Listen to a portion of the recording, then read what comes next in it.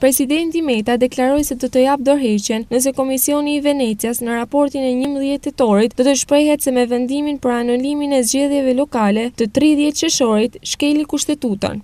Patjetër, nëse Venecia thotë që unë kam shkelur Kushtetutën, unë do të jap dorëheqjen. Unë kam dhënë dorëheqje edhe si kryeministër. Të thotë Venecia që unë kam shkelur Kushtetutën dhe të rri president? Kurrën e kurrës! Sa herë ka thënë Gjykata Kushtetuese që ka patur ligje të Parlamentit apo vendime qeverie në shkelje kushtetuese dhe s'ka ndodhur asgjë, tha Meta. Komisioni i Venecias në fillim të javës ishte në Shqipëri ku zhvilloi një vizitë dyditore dhe takoi drejtuesit e institucioneve më të larta në vend për t'u njohur me opinionet e tyre në lidhje me këtë çështje.